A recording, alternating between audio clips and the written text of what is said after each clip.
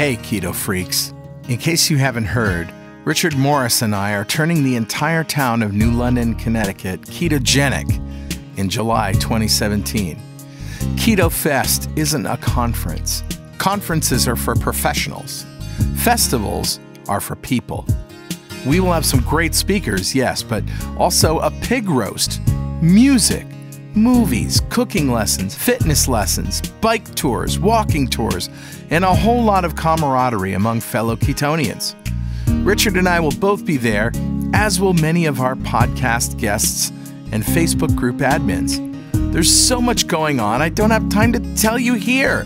So go to ketofest.com and add your name to the mailing list so you'll know where to go and when in order to get your tickets. Keto Fest, real keto for real people.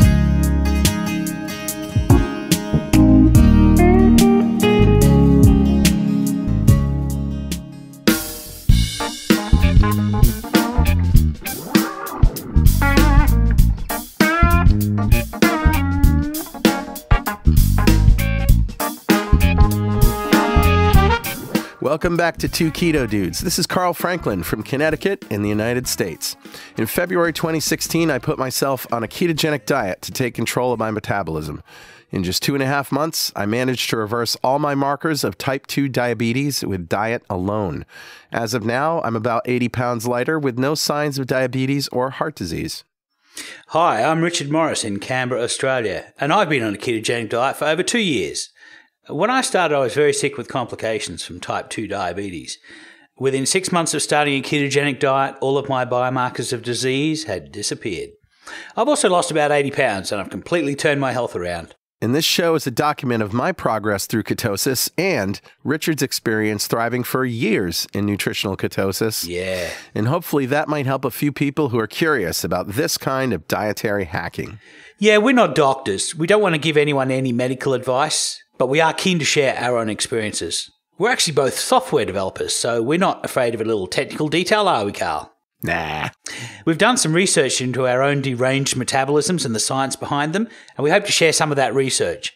Where possible, we intend to put links in the show notes to cite research supporting any claims that we make. You'll probably work out pretty quickly that we're both foodies. Yeah. We love to cook and we love to eat. In every episode, we both share a keto recipe that cannot be ignored. Absolutely. So let's start podcast number 40 Supplements. Sup, dude? We were going to do the Sup, dude episode before, but it turned into the ketone sup dude yeah. episode. So this is all the non-ketone supplements. Right. So uh, before we start, do we have any corrections or apologies from last week? No, I think we uh, we did pretty well. That was a Thanksgiving show, and uh, we've mm. had hmm. lots of uh, comments from that. Everyone seemed to love it. Um, nobody had any problems or errata for us, so I think we're good. Yep, it's hard to argue with recipes. a whole show full of them. Yeah. Okay, let's recap what a ketogenic diet is. Yeah, it's 20 grams of carbs or less it's really only incidental carbohydrates. Right. Protein is going to scale with how much lean body mass that you have. And what we use is 1 to 1.5 grams of protein per kilogram of lean body mass. Um, and then fat to satiety. And it really comes down to we're getting our energy from fat. We're, we're not getting our energy from carbohydrates or from protein. Right. Or as little as little energy as possible, yeah. Right. And it's a little counterintuitive for people who are mm. just starting that uh, you need to eat fat in order to lose body fat. But yep. that is the truth. It is. And if you want to find more about that, go to our first episode where we introduce you to the ketogenic diet from the get go. Right. Also, we have written a booklet at booklet.2keto.com that sort of describes the whole thing in a nutshell. Yeah. And you can join our Facebook group at fb.2keto.com and we have an FAQ there up there that gives you also a, a, a brief outline. And we've got lots of people just starting out there um, and lots of people have been doing it for, for years. And so, uh, yeah, it's, it's also a good resource. All right. So, Carl, tell me, how was your week? I had a great week, Richard. I spent a lot of time on the left side of my brain writing code. Nice. So my brain expended a lot of energy. and uh, I was uh, doing my pattern of eating just lunch and um, trying to eat as little as possible after that. and just with a Carl Franklin cocktail in the evening or two, and uh, still not drinking. Uh, except I did have some wine on uh, election night, and uh, Yeah. you know, enough said. Enough said about that. That was an interesting week in that regard, but really, the software development was front and center in what I was doing all week, and spending Nice. a lot of hours. I'm writing a a, a code generator essentially. Yeah, I've seen the early bits of it. It looks good. Yeah, and this is something that a lot of software developers do themselves, you know, to to help automate the processes of doing the the the plumbing work in any new system that you develop. Yeah. And so, you know, I've done it before with different technologies, and now I'm I'm I'm doing it with uh what with what I'm currently using. So I don't want to bore you with that, but I'm like I said, my brain needed a lot of energy this this uh, week, and I had very high fat, uh, moderate protein, absolutely no carb, well salads, Yeah. um, eating all week, and I feel great. awesome. Yeah, and I lost a couple pounds, Always good. but uh, you know, just sort of still hovering around the same. So uh, that's I'm not worried about the scale anymore. I just I just want to feel good and make sure that uh, my body's working right. Yeah, I've got to admit, when I, I lost a lot in the first five months, and then I just sort of gained and lost the same five kilos or so for, for quite a long time. And I think my body was get my body was at the point where it was happy to defend further weight loss because it, it, it really wasn't comfortable getting, getting losing more weight. Yeah. And it was only then when I started uh, doing some more fasting that I really started to uh, to lose more weight. Um, but my bo- my body is quite happy having about 50 pounds of body fat on there. And it turns out that that gives me the ability to do fasted exercise and, uh, and these kinds of activities because, uh, you know, I can, I can run my body on my body fat. So it's, it's, it's like running around with an extra tank of fuel. It's wonderful. Yeah, it is wonderful. Well, um, I know how your week was, but I would like you to tell everybody else because you had a fascinating week, my friend. I, I did have a good week. Um, you know, I did a, a, long extended fast for 10 days about uh, three weeks ago. Yeah. And then for about a week and a half afterwards, I had lower blood glucose by about one millimole than my than my uh, physiological level. So my physiological level's around about five, and it was around about four for almost a week and a half after the fast, which was quite surprising. Um, and I had a lot of I had a lot of protein cravings, which I I I uh, I I relented. I, I basically gave my body what it was craving, which is how I like to run my life. Mm-hmm. So that was probably my body sort of um, uh, rebuilding all of the protein structures that uh, that it would have uh, shrunk a little bit during the fasting process. So I was really going through a feast stage. But it was interesting. My blood sugar stayed low for almost a week and a half, and then for about a week and a half, it uh, it's been about one millimole higher than it normally has, and I've been having uh, food cravings, sugar cravings, and and what have you over the past week and a half. But it's just finally settled down. So it seems like that fast that that's my longest fast ever, and I probably won't go back to to that long a fast because it it really had an ongoing. Um, it, it had a, a significant ongoing uh, impact on me. Um, So I think I'm probably going to go down to between three and seven day fasts. Is, is, I think is really where my my level is going to be. Okay. But the other interesting thing that happened this week is that I went to a, a lecture by Stephen Phinney in Sydney. So and that was just today. that was just today. I had breakfast Yeah. with Stephen Phinney this morning. That's so cool. with Dr. Phinney, and I had, dinner with him and uh, a whole bunch of doctors uh, last night. So And Stephen Phinney, for those who don't know, he and Jeff Volek wrote essentially the ketogenic Bible, which is called The Art and Science of Low Carbohydrate Living. absolutely, and I actually have a signed copy in my hand. Wow. So, uh, which is good because the previous version of it I had on my Kindle. Um, And the problem with Kindle books is you can only really get one author to sign them. so, anyway, um, but so it was a fascinating lecture. Uh, got to meet uh, about 10 listeners of the podcast. So, hi, guys. Uh, great to meet up with you all today. I, I gave you a shout out in our Facebook group for those of you who are in there. Uh, got to meet Jennifer Elliott, which for the first time ever. She's the dietitian who uh, was kicked out of the Dietitians Association of Australia for recommending uh, low carb, high fat diets. Wow. Um, so she's fascinating, and sh- and we might hopefully we might hear from her at some at some point on the podcast. And I lined up a lot of other people interested in uh, uh, coming on the podcast, so that was also good. including Phinney, right? You you talked to him about coming on the show. Yeah, we're speaking about it, so um, we'll we'll see. Yeah, so um, That's great. But the, the feature of the day was uh, the lecture by Stephen Phinney. And now, if you've ever seen any of his stuff on, on YouTube, it was most, it was probably 90% of the stuff that you've seen him present before, but about 10% of it was secret squirrel stuff that I can't talk about because it's, uh, it's uh, research that has not yet been published or it's, And this is the Canadian study he talked about, or was that no, this, that was Tim Noakes? that was Tim Noakes. This is an Indiana study that he's done with uh, Sarah Hallberg, and so that's fascinating stuff. And I, I, Wow. I, I, I, I can't really talk about that yet, But it's all good news, right? It's all great news. Uh, yes, and Yeah. it's it's it's going to be even more compelling than the Canadian study. Wow. But I, I learned a lot of background stuff about the Canadian study um, Hmm. and uh, a lot of other things. So uh, yeah, it was a great day, and I'm I'm I'm still sifting through the information that I got from it. Um, one interesting thing that he mentioned was that he is not a fan of fasting. And he gave a couple of reasons why, and one of them is um, electrolytic imbalances for people who eat nothing, eat, only water. And part of that has to do with the fact that there, in the 80s there was this fad diet that was developed by a doctor, and it was a, it was a gelatin shot that you had instead of a meal, and uh, and it was basically just protein. Uh, that's all you're eating, and uh, the problem was that it didn't have all of your essential um, nutrients, micronutrients like uh, vitamins and, and minerals, specifically minerals. This diet was known as a ketogenic diet because it was just a little bit of protein, so it it uh, it um, cause you to, to, to produce nutritional levels of ketosis.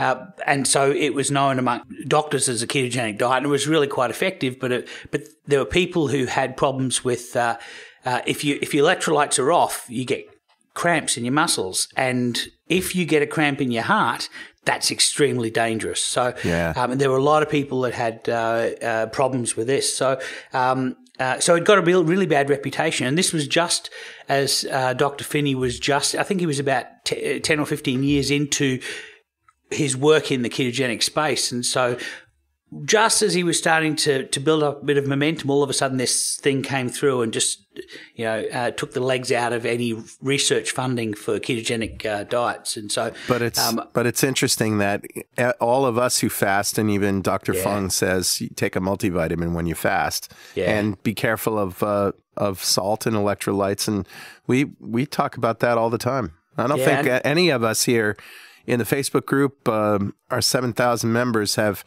have fasted without taking um, electrolyte supplements, or even done the ketogenic diet without taking electrolyte Yeah. supplements. That's true, and in fact, that's going to be the whole subject of our of our conversation today. And we're going to go through a, a list of uh, all the supplements that we have. But anyway, that was my week. I'm still a little bit buzzed about it, as you can tell. Yeah. Um. So uh, Or as they say down under, you're a little chuffed. I'm, I'm chuffed. Uh, yes. It's great. That's so awesome. All right, let's rock this show starting with a little segment we call Mail. All right, time for mail. Well, this one uh, was posted in our group from Joshua, and he specifically asks of you, Richard. Okay. Richard, I'd like to know your thoughts on MCT powders. MCT stands for medium chain triglyceride. Yeah. Um, this is a component of coconut oil, and it's also uh, you can get MCT oil separated by itself. And this is uh, he's asking about the powdered form. Anyone else with knowledge or experience, please chime in. And so it's an open-ended question. So Yeah, so uh, it's on our Facebook group. If anybody else has any comments, please uh, jump in and and uh, let us know. But yeah, I approve of uh, medium chain triglycerides in general, uh, and the reason why is because uh, they're v- a very fast digesting fat, so they get very quickly straight into your liver and turn into ketones, which is great. Um, unlike eating ketones, these are making ketones out of fat, so it produces the physiological form of ketones. Um, I like to think of MCTs are to long chain fats like sugar is to starch. A starch is just a, a polymer of lots of sugar molecules all put together. And a long chain fat is just a fat with lots of uh, carbon chains. So, um, Long chain fats are better for long term satiety and slow release of energy. Uh, but when you need sudden energy, or you have a sudden energy deficit that needs to be made up, then short and medium chain fatty acids will get you going quickly. And uh, so basically what happens to long chain fats is that they have a very long, slow process to get around the body. It takes about 30 minutes to, to, to get around the body. Whereas the short mm. chain and medium chain, they go straight up into the liver and they're being turned into ketones almost immediately. Wow. So I like medium chain triglycerides in general. I think that's a reasonable way to uh, produce quick ketones. And would you rather get your MCT from coconut oil from a natural source than um, something that is processed and extracted? Yeah, I generally use coconut oil for a couple of reasons. Firstly, I'm cheap and it's the cheapest form. Uh, and I like the flavor of coconut oil and I quite like the uh, the makeup of uh, of the different kinds of uh, MCTs that are in there. Mm. And the other thing is that some of the uh, fractionated MCTs um, can be a little bit hard on the stomach, hard to take. Uh, I yeah. find coconut oil is is easy for me to take. The only problem with the coconut oil is if you if it goes down your uh, breathing tube. Oh man, that takes like almost an hour to get over that. It's such, oh, such a no. nasty experience. So you need to wow. be careful when you're swallowing it. Make sure it, make sure none of it goes down your your airways. Well, I got to tell you, this week when I was doing my work, I had my jar of coconut oil handy. I have one at the studio here, and I also have one at home. And anytime that I felt hungry, but it wasn't, you know, in within my eating window, sure. I'd just take a, a tablespoon, just a, a spoon, and just eat yeah. it straight out of the uh, jar.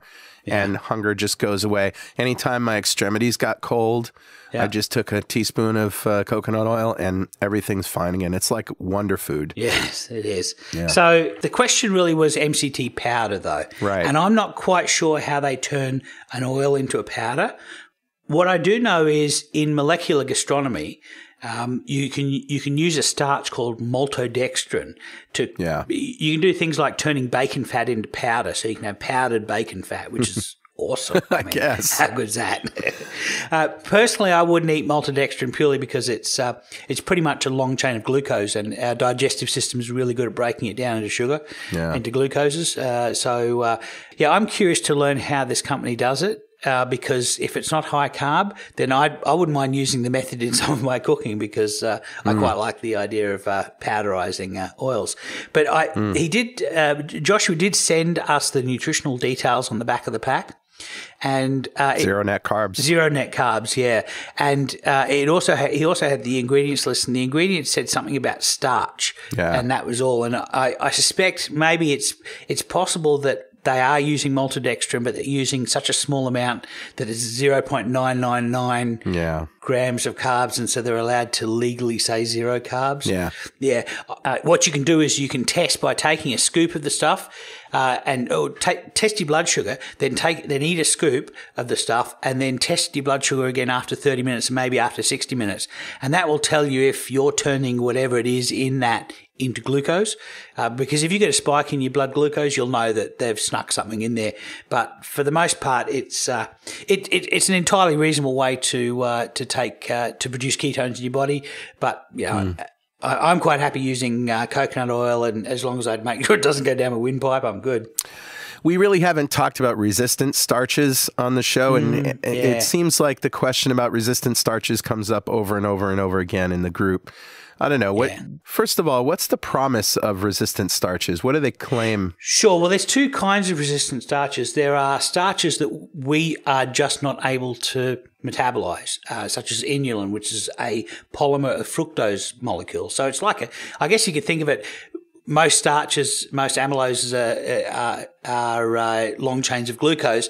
Well, uh, inulin is long chains of fructose, a, a different mm. kind of monosaccharide. And okay. you find it inulin in Jerusalem artichokes and in quite a few vegetables, actually. It's just a storage form of energy. Mm. They're just storing fructose for over the winter months. But the um, we can't digest it. Our b- gut biome can digest it, and they turn it into butyrate and into uh, methane. so uh, it's So you get winded. yeah, Jerusalem farty jokes around this house. But an interesting thing that Dr. Phinney said today was that a lot of fiber that feeds your gut that converts into butyrate that feeds your colon. Your colon likes these four carbon fats. It prefers them over any other source of energy.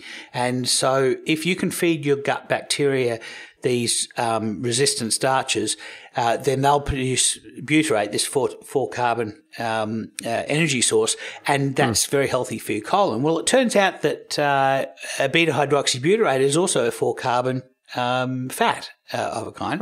And so for those of us in nutritional ketosis, we we may not need to feed our gut fiber as much because we're uh, producing exactly the right kind of fuel that our colon cells quite like. So Wow. that's an interesting thing that he that he mentioned today. Yeah. Well, that makes sense because, uh, and did we do a show on fiber yet? I don't think we have. We haven't. We should do a show on fiber because uh, We should. yeah, That's another thing that comes up. And I had uh, been taking uh, fiber psyllium husk gel caps basically Right. for a long, long time. And I noticed that I had, you know, problems if I didn't take it when I wasn't in ketosis, right? yeah, And I think it was Brenda Zorn that turned me on to a book about uh, called The Fiber Menace. yeah, And uh, while the book was, a, I think I mentioned this on a previous show, but while the book seemed a little bit, a little too culty for me, like very kind of, you know, fiber is the devil, and you know, for so many reasons, and uh, you know, while it did seem a little over the top, I mean, his basic science was was pretty good. And uh, I stopped taking it, and after a couple of days of uh, constipation, uh, everything just sort of righted itself, and I never had any problems since. Do you take a magnesium supplement? I take a multivitamin every day. Right. Yeah. So, Yeah. because the interesting, I had the, I had the same thing. I was having psyllium every day because I was, when I first started this, I was terrified that if I reduced the amount of fiber going through my gut, my gut would seize up and not, Right. not transit anything. Right. And it, it turns out that, uh, your, your gut is able to create uh, correct transit for whatever food that you have. You just need to give it time to adapt to it. And so, as I reduced the amount of uh, psyllium that I was supplementing with, uh, I slightly increased the magnesium, which uh, the magnesium is good for for muscle relaxation. So it helps with the muscles relaxing down the gut, and also uh, it, it upped my water intake.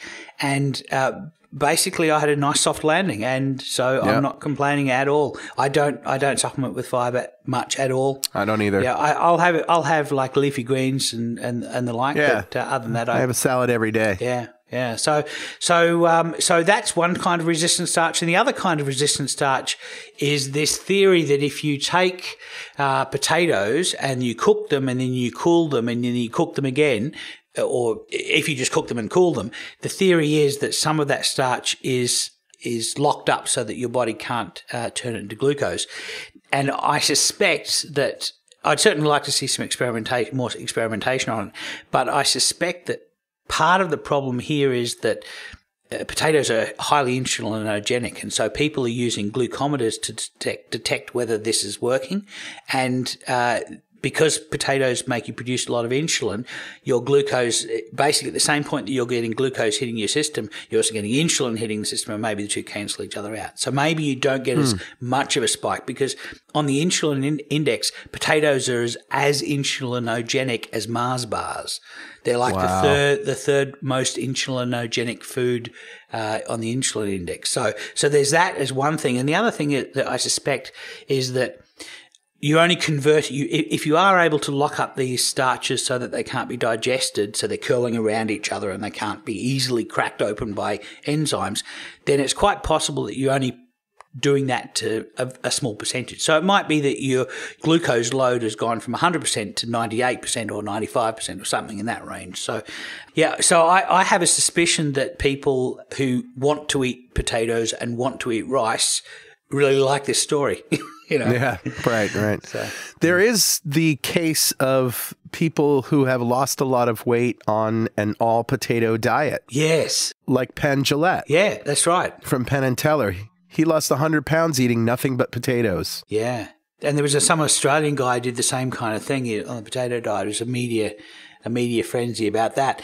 The the mechanism that I suspect happens there, it's not because potatoes are magical carbs, but hmm. I think I suspect that the mechanism there is that you're not eating any fat in your diet. You're only eating potatoes, so you can't have them with butter. If you have them with butter, the diet doesn't work. Hmm. If you have them without butter, the diet works. And I suspect the reason why is because the pancreas needs some fat to be able to release insulin. It needs just a little bit of fat in there, just in the blood to to to produce insulin. So what I suspect is happening is that the body's fat cells release a little bit of fat, the insulin starts cooking and, and energy starts flowing into cells, and that insulin causes those fat cells to stop releasing fat.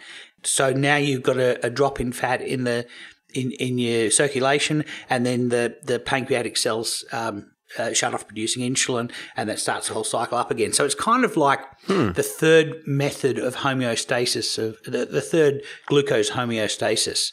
Um, but I, I prefer, personally, I prefer to use the high fat method um, Yeah. and uh, let my liver produce all the glucose. Well, I would love to interview somebody who has done this potato diet because I want to know things like how hungry are you? It seems like Yeah. seems like that would make you hungry all the time, and and I don't know, Or nauseous.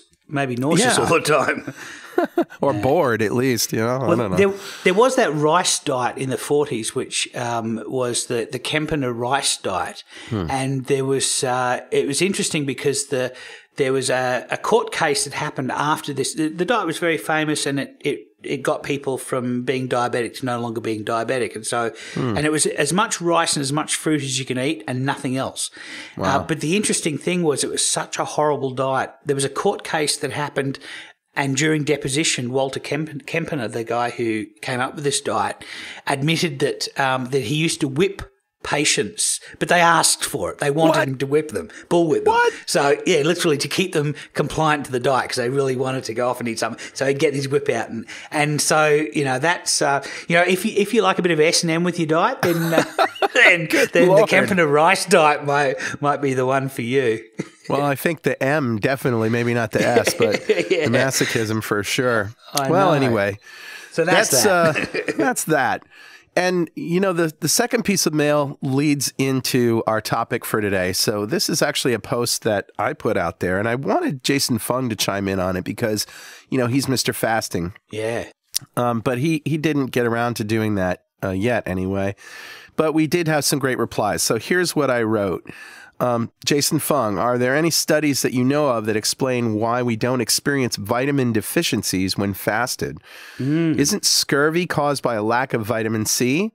Yeah. And vitamin C is water soluble. And the B complex, all the B vitamins are also water soluble. Sure. So my question is, does the body somehow store them in body fat? For that matter, do we even need them when fasted? And so, you know, this brings up a, a, a lot of good questions. First of all, I suspected that, in, and I have no proof of this, but I suspect that fat soluble vitamins are probably stored in body fat. Yeah, we know cholesterol is, and a lot of other lipids, Yeah. uh, a lot of other lipid-based molecules are. So yeah, Right. But then vitamin C and the B complex vitamins are particularly important and they are not stored in body fat, or, or at least, I don't know. Are they? yeah. How can No, they be? They're, they're, they're mostly stored in cells, as I understand it, stored and drawn down. in down muscle. in cells. Yeah, muscle and in the brain. So we had one response from Gabor, uh, who says that I believe that hypovitaminosis, which is um, chronic uh, Lack of vitamins. deficit of vitamins, yeah, is only a concern of extended fasting. You won't deplete vitamins in three or four days. Um, another aspect to consider is that vitamin C demand is profoundly decreased with reduced blood sugar levels and also during at- autophagy. Which is Uh, autophagy is the, during fasting the breakdown of uh, of proteins. So um, uh, the uh, vitamin C is mainly essential for anabolic processes, which is the building up of uh, uh, the building up, not the breaking down of uh, of proteins. So Okay. the interesting thing about that uh, that both vitamin C and glucose take the same path into cells. And so you can imagine it's a little bit like a, if you had a football game and you had the home supporters and the away supporters and the home supporters, there's a thousand home supporters and there's only 10 away supporters. Hmm. If they're all, go, if they're all having to go through the same turnstile and you only get 100 people into the game before eh, into the sta- the stadium before it's filled then you're likely to only have one guy from the away team hmm. because of the ratio of people coming in the door. So it sort of means that if you have a lot of glucose running in around in your blood you need to eat a lot more vitamin C just to get a little bit into your cells Interesting. because they're competing to get through the same door. Most mammals make uh, uh, vitamin C; it's part of the glucose chain. So really? they make yeah, they make it out of glucose. The reason that we don't make it out of glucose um, is interesting. Now, I I believe that some of it has to do with the fact that that our ancestors evolved around the equator where there was a lot of fruit and we were tree dwelling monkeys. So primates. The only the only mammals that don't really make uh, vitamin C are primates, and I think hamsters may not make it as well. so, but all other mammals make it as in all of their cells, so they don't have a problem with it. It's not a vitamin for them. But it's a it is a it is an essential vitamin for us. It's one of the reasons why that we're we're able to see the color red. Most most animals don't really pick up red very well, but we pick up Really? really well because ripe fruit is red. Wow. Isn't that interesting? And speaking of this, I had another interaction with my mother via email. And you know Okay. my mother, right? Yeah, I talked I- about her, right? Yes. Yeah. So um, I told her that I was beginning to get a little, you know, nose head cold. Okay. And I typically get a head cold around this time of year when the seasons change Hmm. and it lasts about four or five days and it goes away. Right. So this is no big deal for me. Yeah. And um, and she says, you know, make sure that you take an all list of vitamins and stuff, which are in my multivitamin. And then she says in all caps, eat fruit. exclamation marks, you know, for. And then I said to her, "You have some nerve telling a diabetic to eat fruit." And she says, "She says I think that you could be able to tolerate in half an apple or a half a banana." With and I said, "No, uh, I've done the tests. One bite of banana is enough to spike my blood sugar and raise my insulin and knock me out Turn of you into the ketosis." cookie monster. Yeah, and then she and her response was, "Wow, I had no idea." So Mm. clearly, people are just they don't understand that diabetics cannot eat fruit. Yeah. You know? Yeah. Well, well, most fruit is just uh, a, a bag of sugar water. You know, there, Yeah. there are some nutrient, there are some phytonutrients in fruit, um, and the, the the fruit's job. When you think about it, the fruit's job is to trick you into eating their seeds and defecating them out, Right. So that the seeds get to start off in some nice uh, manure. Fertilizer. Fertilizer, yeah. So, uh, so their job is to try and trick you into eating it. So it's a trap, you know. Yeah, true. it is true. All right, so um, some more responses here. Cheryl says, when you feast, ensure to eat food high in vitamin C, like bell peppers, kale, Yeah. broccoli, and berries. Uh, I only eat blackberries and raspberries in about seven or eight. I also take a really good multivitamin every day and vitamin D3 too. Yeah.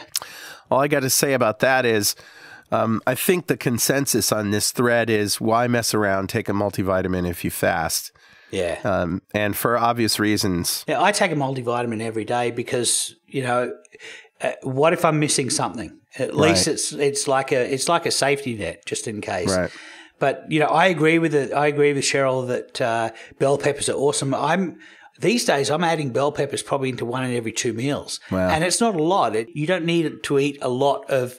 Uh, a pepper, maybe I maybe a small capsicum or bell pepper, um, in a meal between the two of us once every two days. So it's not a lot of um, of pepper, but it is just enough just to keep vitamin C uh, topped up. So uh, yeah, Yeah. I, I, I uh, and I also agree. Blackberries, we get we we forage for blackberries here in February, and we fill our freezer with uh, blackberries in freezer bags. And through the rest of the year, we're just eating blackberries that we've sort of uh, we've captured at their perfect ripeness. So that's awesome.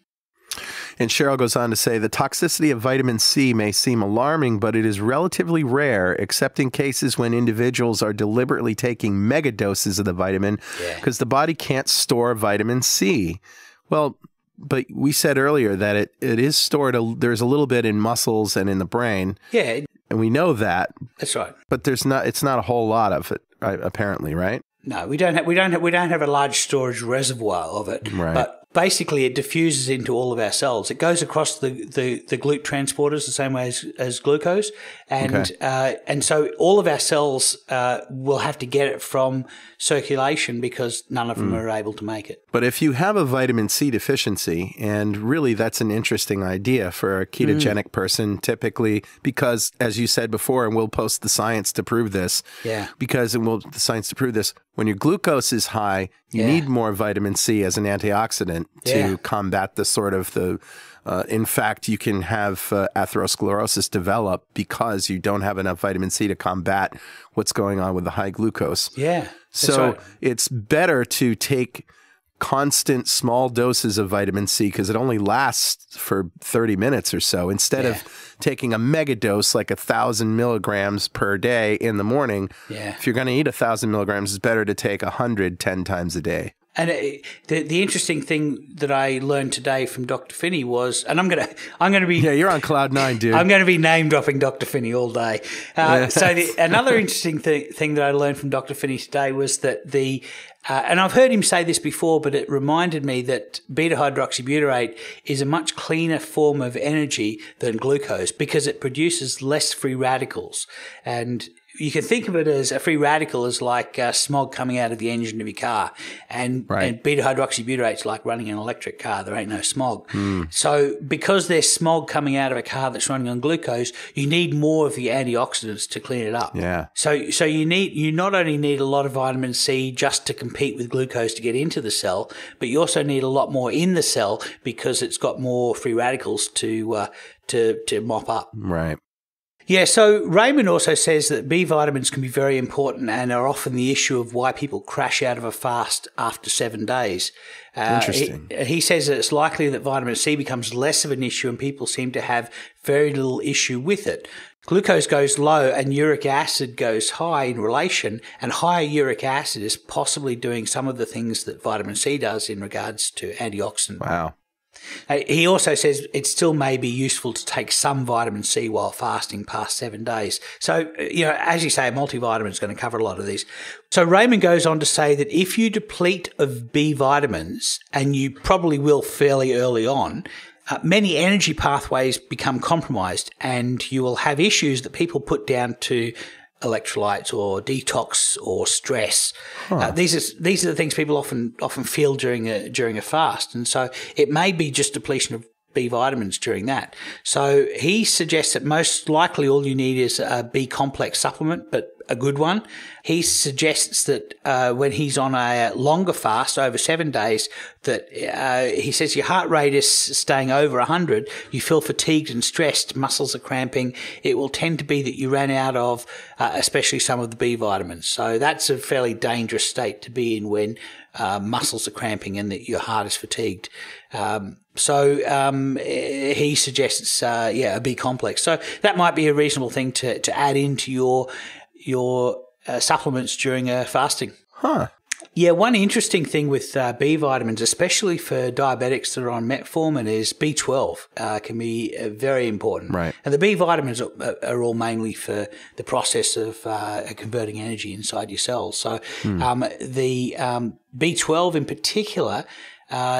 Is depleted when uh, people take metformin, and so you really want to make sure that you get, if you're on metformin, uh, ask your doctor next time you do your blood tests to get a B12 uh, status. Yeah, and you really want your B12 to be between 600 and 2000. So uh, the standard range is anything above 127 is considered okay, but um, you re- really want a fairly high B12. Uh, I'll link a an article from uh, Guillaume Belanger, who uh, sent me a, a, a blog post about B12, and he goes into a lot of detail about why your life really could depend on B12. And one thing I'm going to do when I next see my doctor is ask her to give me an injection of cobalamin, which is uh, basically vitamin B12. It, it lasts for like three uh, three months, so it's something that uh, you may not be able to supplement directly. Uh, talk to your doctor about it, but uh, as I say, we will link this uh, article about uh, B12 uh, in the show notes. Okay.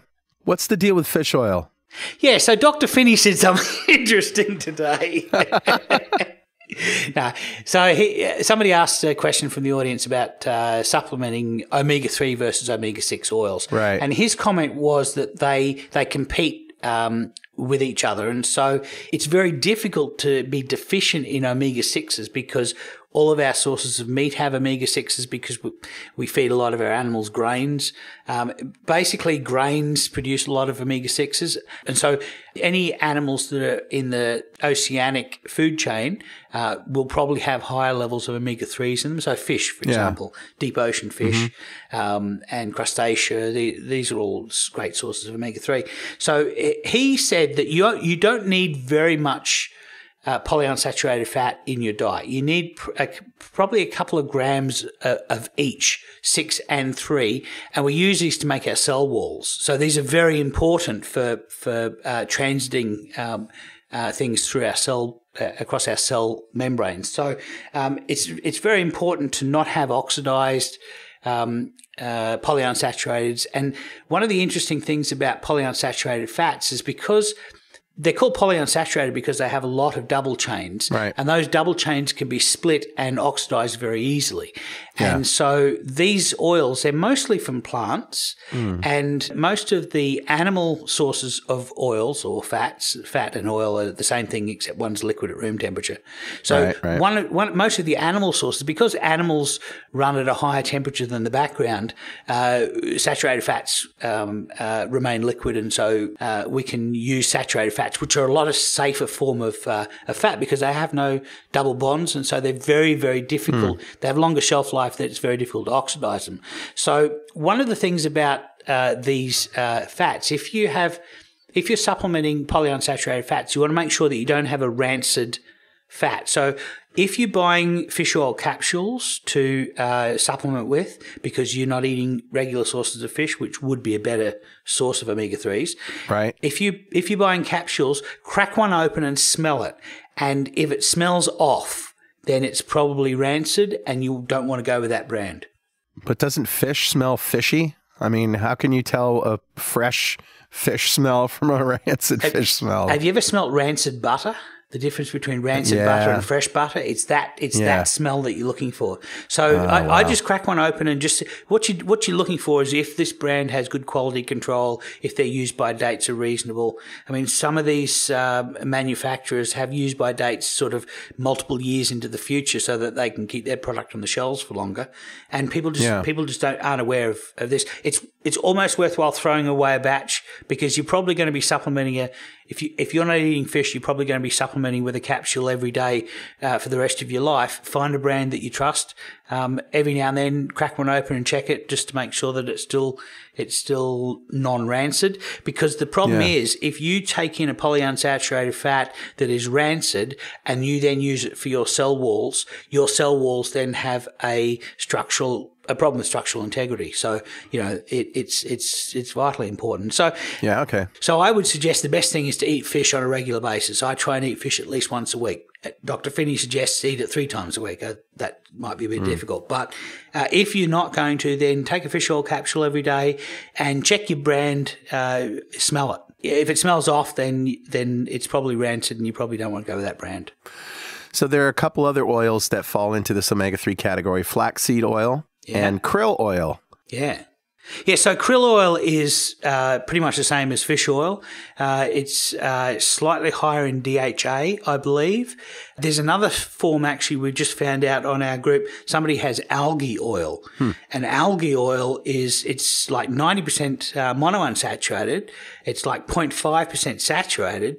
And it's very difficult, and that, that's the only information they want to tell you about. But in fact, the difference there is polyunsaturated and it's all omega 3. So that they've, they've basically buried the lead by talking about the fact that our oil is one, so wonderful because it has no, no saturated fat. No, the benefit of this is that it's got these high omega 3s. So I would be tempted just to have that, a teaspoon of that once a day as a supplement. I wouldn't use it for cooking because you don't want to oxidize it. And I probably mm. wouldn't use it for mayonnaise or anything like that. But You know, it's about this time in a conversation like this where my BS detector goes up. You know, the little hairs on my neck stand up, and I think, you know, what did early humans do without supplements? You know, Yeah. uh, there's got to be natural sources of this stuff that either we're just missing in our diet um, for some reason, or that we over prescribe supplements because they're products, right? And Yeah, then think so somebody gets behind these things and finds some little benefit, um, you know, whereas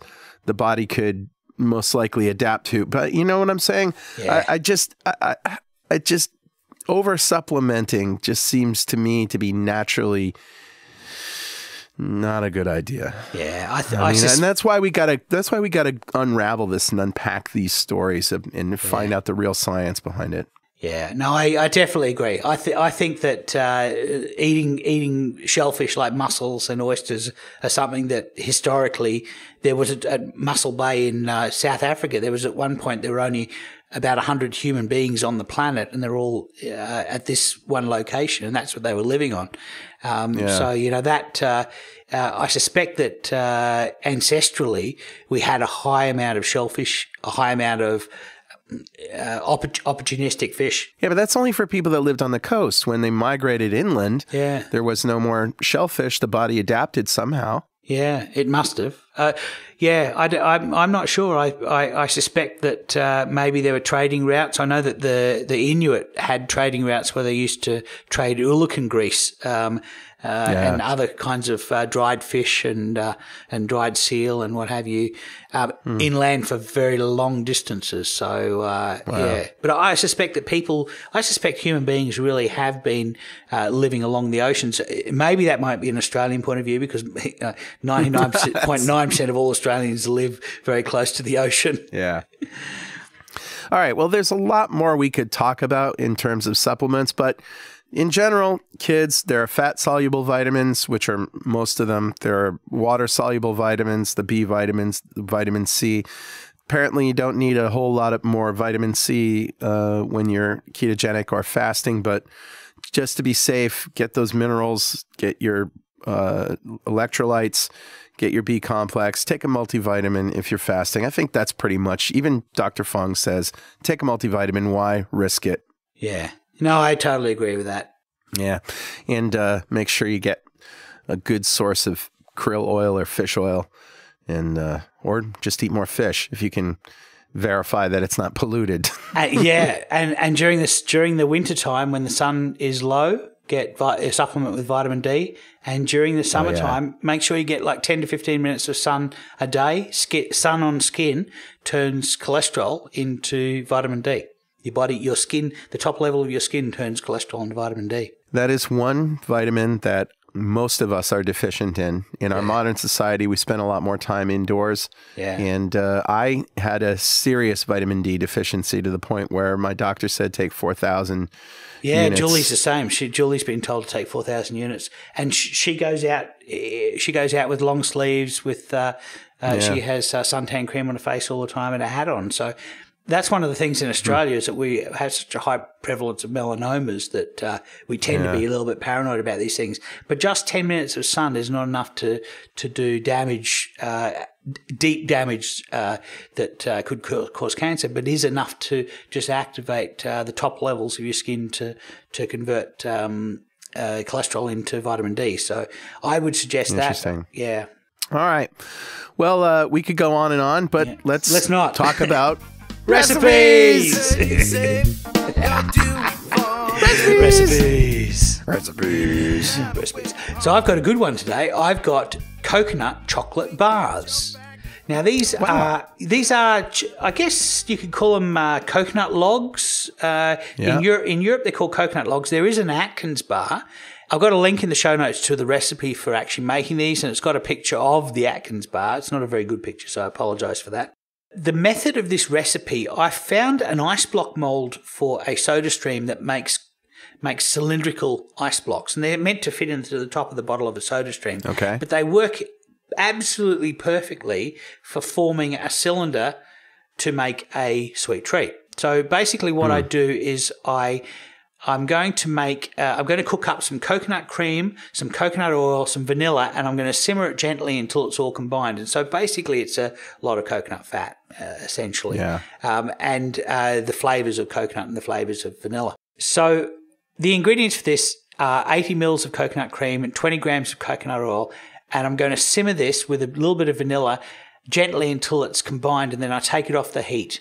And I add a sweetener to taste. You don't have to add a sweetener because these um, coconut is- and vanilla have slightly sweet flavors, so you don't really need a sweetener. But I generally use uh, sucralose. Uh, I use pure sucralose, but these days uh, uh, Splenda has sucralose in it. It's- It also has more carbs because it uses a carb. It Yeah. uses dextrose as a filler. Uh, but these days, Splenda actually makes a smaller tablet, which is uh, about a tenth of the size of the old tablet. So I'm starting starting to go more towards using it just for convenience. So anyway, um, so you're going to sweeten this mixture, and then I add some coconut flour, and it's about uh, uh, tablespoon of coconut flour, and I'm also going to add some desiccated coconut, about 60 grams of desiccated coconut, and um, and so I add that to this mix, and it basically starts to thicken up, and then I can start to form it in the ice block mold. And then what I'm going to do is I'm going to freeze that ice block, these cylinders of coconutty sweetness, hmm. and then once they're, fro- I put a weight on it in the freezer, and then once they're frozen, I break them all apart and dip them into melted chocolate. Now I use tempered chocolate because it gives you that crack and it makes it so that it it doesn't melt in your hand. It does melt, melt in your mouth, but you don't have to do Yeah. that. If you can't be bothered, uh, if you can't wait for the, the hassle Yeah. of tempering your chocolate, just any old melted Yeah. chocolate will do the job. It's about half the size of the Atkins bar and about half the calories Mm-hmm. and uh, about half of the uh, carb load. And of course, because it's all made from raw ingredients, there's no uh, um, sugar alcohols or anything else funky in there that you've added in. Right. Um, of course, if you know I had Splenda, I guess you could say that that's a, a funky chemical, but uh, it doesn't have much of an effect on me. So I use those. Uh, these are little fat bombs. Um, Yep. You know, I might have this sort of uh, once a week. I might have uh, have one of these with a coffee or something as a treat, um, and they they last. They st- they store for a very long time in the fridge, um, as long as you don't keep raiding the fridge for them. yeah, very cool. so that's my recipe. Sounds delicious, Richard. So what have you got, Carl? So, um, one of my favorite dishes that I used to eat a lot when I go to an Italian restaurant that I like on Federal Hill in Providence, Rhode Island, Okay. uh, is uh, the Italian section. yeah. And uh, this is cassoulet. Cassoulet. Oh yeah. And a cassoulet is a classic French dish. It's usually uh, consistent. It's sort of like chili, except that it doesn't have the chili flavor, but it's a combination of white beans and a variety of meats. Flageolet beans, often, isn't it? Yeah, yeah. Um, you can use whatever beans you like. Um, the lower carb, the better. And if you want to omit the beans, oh, who's going to argue, right? Yeah. But I would, if it calls for a cup of beans, which this one does, you could use a half a cup, or you could use something like the black soybeans that I already Right, yeah. talked about. Yeah. But, uh, you know, uh, maybe some chickpeas instead, a little bit lower carb. Yeah. But the meats are typically sausage, pork, duck confit, lamb, Yeah. goose. You know, these are the kinds of things that you just put put together and typically simmer in a Dutch oven for hours and hours. But you can do it in a crock pot as well. This is what I love about just basic recipes is that you you know when you when you know how things go together, it's really just all about figuring out combinations, and then you can experiment with how to cook them and how to how to serve them. Yeah, I agree. I, I mean, with it, probably uh, two years ago, or maybe three years ago, I was pretty ordinary at cooking, but it was just the process of trying these things out. Does this work with that? And, you know, over about three years, I think I do okay now. You know, I do some decent recipes, but, but, and, and, you know, tonight I just put something together just from things, looked in the fridge. What can I, I'll, I'll have a bit of this, bit of this, bit of that. Yep. You know, bang, done. So, Right. so, so this cassoulet, Yeah, the cassoulet. So here is just one recipe that I'm going to link on the show notes. Um, don't take this as the ultimate, but let's just talk about the flavors and the flavors that are in here. So you've got a cup of beans, whatever beans that you want, um, and we talked about that. So this is for six servings, right? Yeah, six servings. You got 12 ounces of lamb stew meat cut Mm. into one inch cubes. You got a tablespoon of olive oil. Got two cups of broth, Right. which we've talked about beef Any kind broth. of stock, you know, yeah. You could use chicken stock too. You could use your bone broth, whatever you like. Mm-hmm. Eight ounces of cooked kielbasa. Now, what's great about Mm. kielbasa is it's got that smoked flavor Yeah. Yeah. Yeah. you know? So kielbasa is definitely in. You're going to use a, a tablespoon, at least a tablespoon of snipped fresh thyme. Thyme goes really, really well with meats, and especially lamb, beef, and pork. Uh, it's just one of those herbs that brings out the flavors. And it's really hard to kill too, the plant. So it's really easy Yeah. to grow some thyme Really in your backyard. We've got some lemon thyme in ours. And I, I just can't kill it. I kill everything else, but not the thyme. Yep. So, uh, in terms of other meats that you can throw in there, this recipe doesn't have them per se, but I would go to my grocery store and get some duck confit. Oh, yeah. and chop that up into small pieces. That duck fat is going to just Mm. turn to wonderful goodness. Um, I would avoid leaner cuts of meat like pork tenderloin, that kind Yeah, of thing. yeah. I would, you know, if you're going to put pork in there, the kielbasa is a great way to get it, or, um, you know, a pork butt. Yeah. You might put some of that in there. Yeah. I would put, uh, if I was going to put beef in there, I'd probably use a chuck steak because that's got a lot of fat Yeah. and uh, it's very very tasty. Hmm. Now, in terms of other spices, garlic, Yep. three or four or five cloves of garlic crushed, or six. You know, I love yeah. garlic. Yeah, same. Maybe some whole black peppercorns or just some ground pepper. Mm-hmm. Definitely a bay leaf or two. Yeah. Now, this recipe calls for some veggies, a small eggplant peeled and chopped. Eggplant's nice because it has that wonderful texture Yeah. that uh, stands up well to the meat Yeah. And sort of fills out the the the thickens the sauce, Sure. right? And then some green peppers or uh, red pepper or whatever. Now, this recipe calls for a can of tomato paste. Yeah, Nah. I would I would avoid that. Yeah. I would put in maybe maybe a Tablespoon teaspoon, something, yeah, a something like tablespoon of tomato paste, and or if you're Richard Morris and you make your own tomato sauce, throw a, Yeah. a nice cube of tomato sauce in there. Yeah. Made some of that this weekend. Yeah. So, in terms of cooking, uh, if you're going to do this in a in the oven, in a Dutch oven or a casserole dish, Yeah. probably a low temperature, like 200 degrees or so Fahrenheit, Sure. For maybe eight to 10 hours. You know, just Yeah. put it in in the morning and then eat it for dinner. Yeah. Um, if you're going to cook it on a higher temperature, maybe four to five hours, but definitely low and slow to let all that goodness just mix mix together. Yeah. That sounds delicious. It's a great winter recipe because it's hearty, you know, and when it's cold outside, it's a great. Uh, it's really a stew. Julie says it sticks to your belly like lead. I don't quite know what that means, but it sounds good. Yep. So experiment. I would like to hear from you if you're going to do a cassoulet. What went in it, and how did it taste? Uh, you know, email us. And uh, speaking of emailing us, that's a show.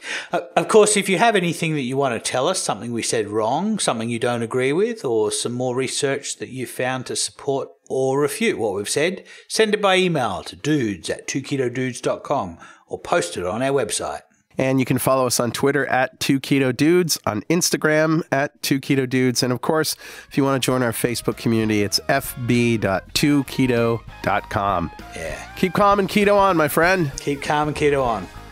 All right, we'll see you next time on 2 Keto Dudes.